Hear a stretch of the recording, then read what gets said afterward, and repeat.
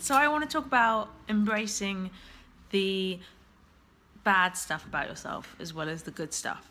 So I didn't even allow myself to see any anything that was bad about me. I couldn't even see that.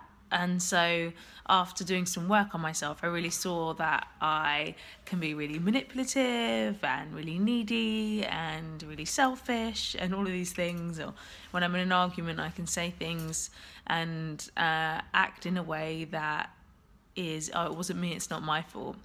Um, so once I was aware of these things, I could really make fun of myself and not get so offended by things and really embrace all those parts. So don't be afraid to show like the good and the bad. Everyone's got that.